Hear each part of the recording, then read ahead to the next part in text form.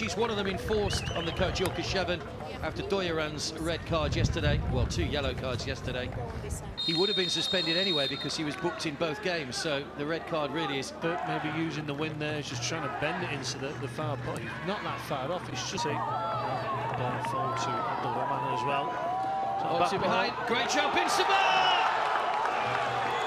Metin couldn't cut out the cross. It's a mistake by Azadi. Then. Chetin! Oh! Brilliant strike and a good save. Needs a good delivery. Driven in low, took a little flick. Wide. Go. Good ball through. Here's a chance. Kadira! Good save, Amir.